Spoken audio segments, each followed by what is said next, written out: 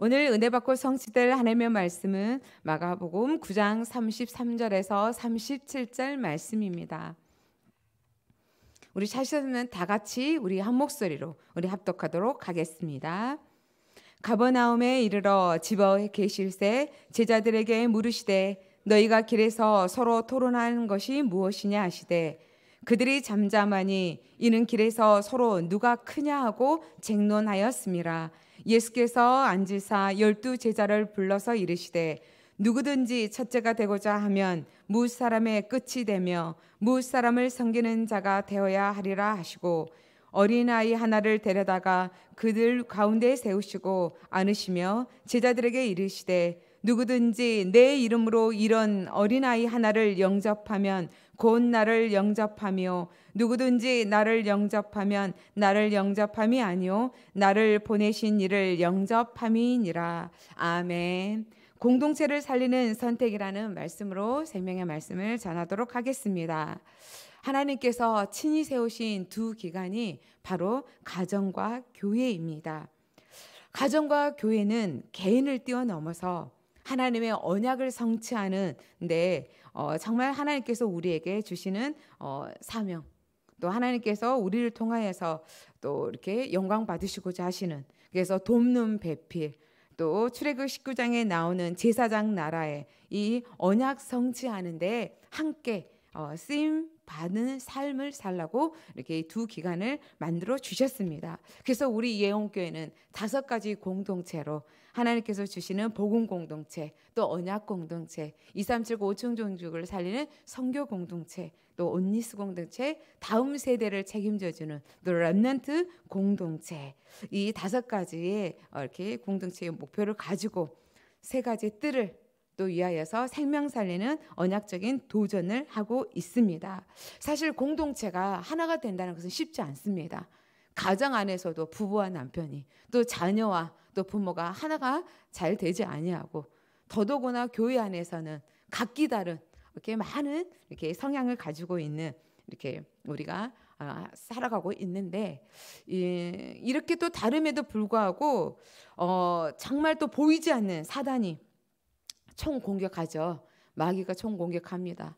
여러 가지 흑암의 조주의 세력과 함께 어, 우리의 마음과 생각을 잡고 하나가 되지 못하도록 하나님의 뜻을 위하여서 살아가지 못하도록 하나님께서 주시는 축복을 누리지 못하도록 하나님 주신 참된 사명을 감당하지 못하도록 이 사단이 공격하면서 또 중요한 우리 안에 창세기 3장의 뜰이 창세기 3장에 우리 이렇게 틀이 있습니다. 나 중심, 내 생각, 내 기준 이런 것들을 통하여서 우리가 온니되지 못하도록 하지만 그럼에도 불구하고 예수 그리스도의 생명을 받고 하나님의 자녀가 된 우리에게는 성령이 역사하심으로 말미암아 하나가 되도록 이끌어가고 계신 줄 믿습니다. 말씀을 통하여 강단 언약의 말씀을 붙잡고 나감으로 말미암아 사단이 공격하는 그 모든 것들을 깨뜨리고 내 생각을 뛰어넘어서 하나님이 주시는 언약의 말씀으로 하나님 우리가 본 공동체의 축복을 누리게 하신 줄 믿습니다. 오늘 본문의 말씀을 보면 제자들도 누가 크냐라는 이 자리 싸움을 하고 있습니다. 그래서 늘 우리 안에 사단이 주는 그 이렇게 주특기 바로 교만함. 그래서 하나님의 말씀보다 내 생각이 앞서고 하나님의 말씀보다 또 내가 또 나아가려고 하는 그런 모든 것들이 찾아올 때, 아, 이거 사단의 공격이구나. 예수 그리스도 이름으로 내 안에 보이지 않는 내 틀은 꺾어지고 사단은 또 교만함은 어, 꺾어지고 떠나갈지어다. 선포하시기를 바랍니다. 그래서 오늘 이 본문의 말씀을 통하여서 하나님이 주시는 귀한 언약의 말씀을 다시 한번 붙잡으면서 우리가 생명 살리는 그 공동체의 사명을 감당하고 또 생명 살리는 선택하기를 주님의 이름으로 축복드립니다. 첫 번째 생명 살리는 성김입니다. 예수님은 공생의 사역을 마무리할 시점에 다가오실 때 제자들에게 변화산에서 변화된 그 모습을 어, 보여주시면서 하나님이시라는 신성을 또 보여주시고 또 하늘의 영광도 보여주시고 또 귀신 들린 아이도 치유하면서 계속해서 제자들에게 영적 사실을 보여주시고 또 말씀하고 계십니다. 어, 요한복음 8장 31절과 9장 31절에 인자가 많은 고난을 받고 사람들에게 넘겨 어, 이렇게 죽임을 당하고 죽은 지 사흘 만에 다시 살아나신다라는 이 부활의 또 영적인 사실을 이렇게 계속해서 말씀하고 있습니다. 어, 하나님께서 우리에게 주시는 그 그리스도가 죽고 부활하심으로 우리의 모든 죄와 저주 모든 것을 꺾는다라는 이 영적인 사실을 알려주는데 제자들은 이 영적인 사실을 알지 못하고 육적인 것으로 인하여서 해석하고 또 그 안에서 네가 먼저냐 내가 먼저냐. 예수님께서 어, 로마 제국을 물러, 물러뜨리고 또 정말 이렇게 이 나라의 왕국을 세울 때 우리가 한 자리 하지 않겠냐. 이런 생각들을 가지고 있으면서 거리에서 또 이렇게 자리 서열 싸움을 하고 있었습니다. 영적 상태 우리도 마찬가지죠. 강단에서 담임 목사님을 통하여서 또 우리에게 계속해서 생명의 말씀을 주시는데도 불구하고 우리는 내 생각을 가지고 해석하고 내 환경을 가지고 또 그것을 또 들으면서 해석할 때가 있지 않습니까? 있죠. 영적 상태. 이 영적의 상태를 바라보면서 하나님 그렇습니다. 우리가 하나님의 언약 안에 있고 우리가 많은 직분을 받았고 오늘도 하나님 앞에 이렇게 예배를 드리면서 말씀을 드리면서 하나님 내 안에 내 무의식 속에서도 하나님 내 생각 안에서도 하나님 나 중심의 또 서론적인 것에 목숨 걸고 있지 않습니까? 하나님 이러한 것들을 내려놓고 나의 모든 말과 나의 모든 생각과 우리의 모든 기준이 하나님 복음을 증가하고 생명을 살리는 그 일 속에 하나님 관심 갖기를 원합니다. 우선순위가 되기를 원합니다. 우리가 고백하면서 예배드리고 고백하면서 말씀을 들으시고 고백하면서 사명을 감당하시기를 주님의 이름으로 축복드립니다. 이런 제자들을 향하여서 자리 싸움을 하고 있고 이것 때문에 소론적인 것을 이렇게 놓고 있는 어, 제자들에게 예수님은 큰 자와 작은 자가 어떤 것인지 하나님이 보시는 하나님이 기뻐하시는 큰 자, 작은 자는 다른 것이 아니라 본문 35절의 말씀처럼 누구든지 첫째가 되고 싶냐? 그러면 무사람의 끝이 되어라. 또 무사람을 섬기는 자가 되어야 한다. 라고 말씀을 하시면서 어린아이 하나 이 한 아이를 데려다 놓고 시청각 교육을 하시죠. 시청각 교육. 이 어린아이가 이 시대에는 별 볼 일 없고 숫자에도 들어가지도 않고 가장 연약하고 가장 낮고 천하는 이 상징적인 게 바로 이 어린아이인데 예수님 이 어린아이를 딱 내려다 놓고 이 어린아이를 섬길 수 있는 마음을 가져야 한다. 이렇게 말씀하고 있습니다. 저와 여러분이 생각하는 큰 자와 작은 자의 개념이 완전히 다르죠. 우리는 사실 섬기는 것보다 섬김을 받는 것을 더 좋아합니다. 그렇지만 예수님께서는 섬김의 모델이 어떤 것인지를 보여주십니다. 마가복음 10장 35절에도 말씀하고 있잖아요. 야고보가 어머니를 통하여서 어? 하나는 오른편에 하나는 좌편에 이렇게 예수님의 뭐 이렇게 오른편 좌편 되기를 원하잖아요. 그럴 때 예수님께서 영적인 리더십은 45절에 마가복음 10장 45절에 인자가 온 것은 성김을 받으려 함이 아니요 도리어 성기려 하고 자기 목숨을 많은 사람의 대속물로 주려 함이라.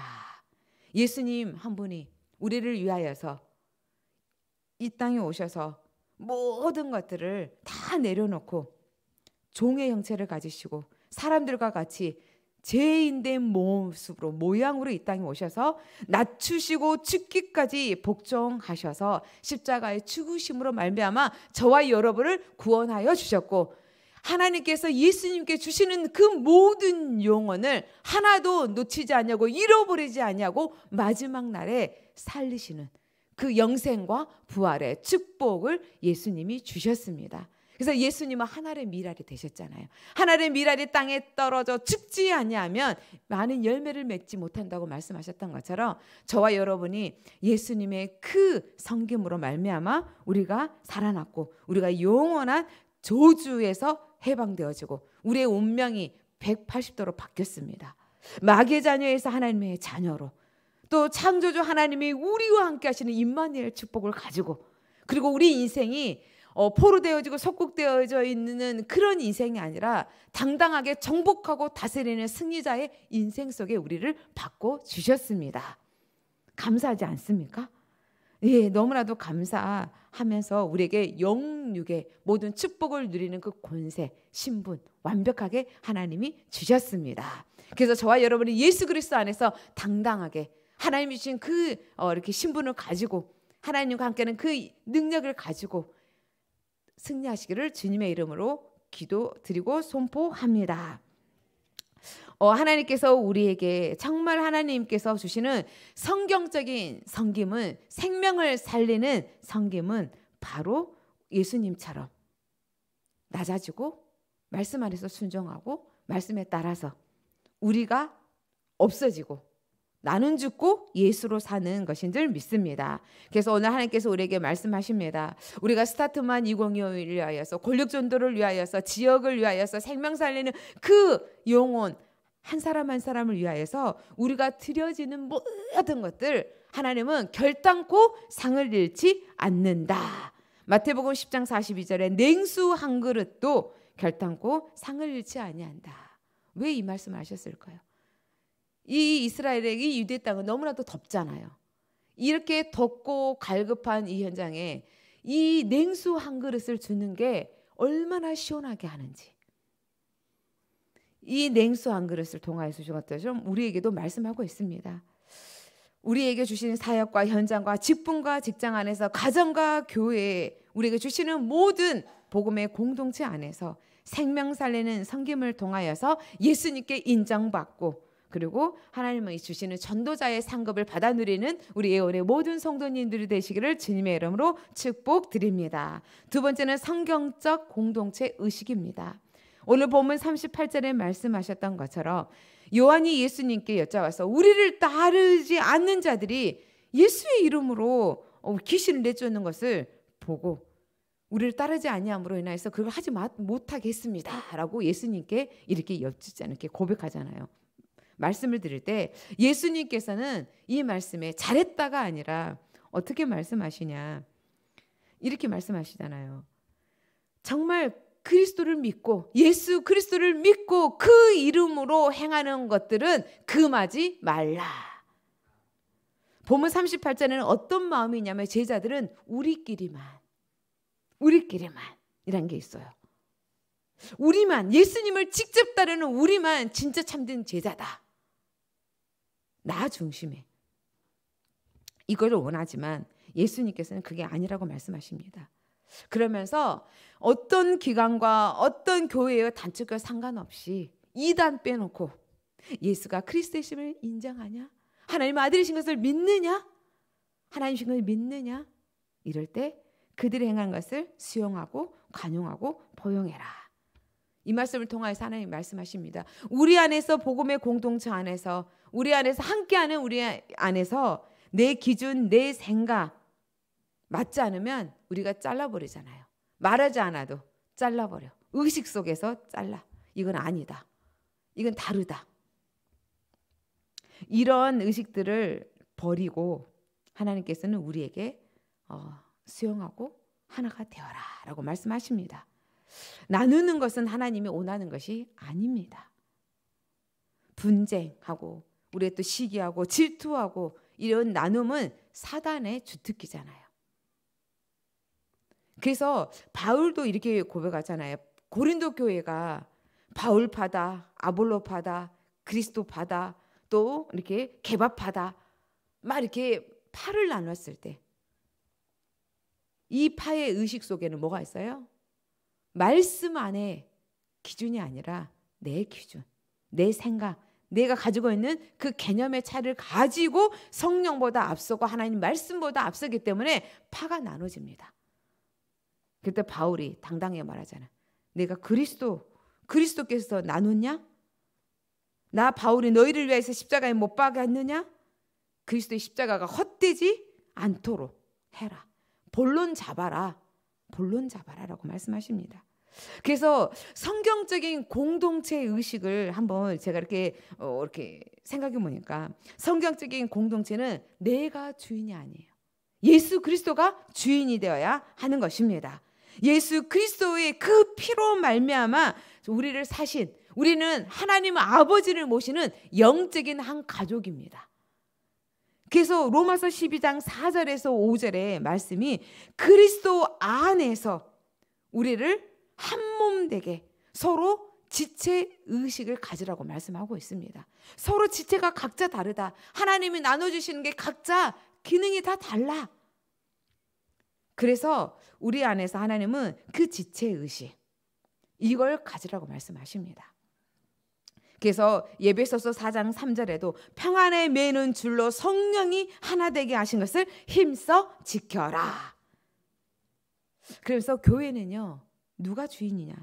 바로 예수님이 주인이요. 주님과 교제하는 것이요. 예수 그리스도를 주인으로 고백하는 영접하에서 고백하는 개개인이 모여서 교회잖아요. 그래서 성도와 서로 교제하는 것입니다. 성삼위 하나님과 교제하고 성도들이 서로 사랑하면서 인정하고 섬기고 도와줘야 되는 것입니다. 요한복음 17장에는요. 예수님께서 겟셋만의 동산에서 우리를 위하여서 기도하시는 그 내용이 담겨 있습니다. 근데 17장 17절에는 이렇게 말씀하고 있어요. 나는 세상에 더 있지 아니하오니 그들은 세상에 있사옵고 나는 아버지께로 가옵나니 거룩하신 아버지여 내게 주신 아버지의 이름으로 그들을 보존하사 우리와 같이 그들도 하나가 되게 하옵소서. 이렇게 놓고 우리 예수님이 우리를 위해서 중보기도를 하셨다는 것입니다. 그래서 공동체가 하나 되기 위하여서는 빌립보서 2장 5절의 말씀처럼 우리가 하나 되기 위하여서는 절대로 가져야 될 마음이 예수 그리스도의 마음입니다. 예수 그리스도의 마음을 품지 않냐면 우리는 절대로 하나가 되지 않습니다. 예수 그리스도의 마음은 하나님은 아버지의 뜻을 이루는 일에 올인하셨고 그 뜻을 위하여서 죽기까지 복종하셨습니다.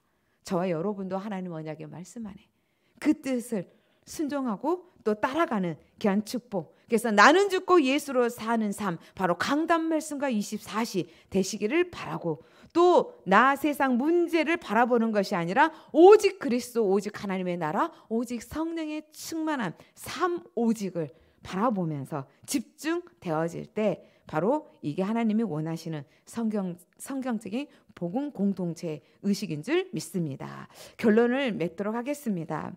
어, 이렇게 종교개혁자 마틴 루터가 말했던 것처럼 그리스도인은 자유인인 동시에 만인의 종이다라고 말했습니다. 그렇습니다. 저와 여러분은 십자가의 대속으로 죄와 사망의 권세에서 완전히 해방받은 은혜 안에 있는 자유인이 되었지만 우리 스스로는 영혼 구원과 생명을 살리는 복음을 증가하는 일 속에서는요 모든 사람을 섬기는 바로 만인의 종이 되어야 합니다. 그래서 우리 어, 내가 죽고 예수로 살아가고 또 내 모든 것들은 내 생각, 내 동기, 나의 것이 죽어야 하나님 언약의 말씀 안에 있는 그 하나님이 주시는 그 어, 그리스도의 그 사랑과 성김이 있어야 한 영혼이 살아나는 것입니다. 그래서 우리 예원의 모든 성도님들 예수님의처럼 생명 살리는 성경적인 성김의 그 삶을 통하여서 먼저 주신 이 가정 안에서 살아나고 하나가 되어지고 그리고 우리 교회와 각 기관과 내가 가는 그 기간 기간 현장 공동체를 살리는 그래서 하나님 나라의 영적인 큰 자가 되시기를 주님의 이름으로 축복드립니다.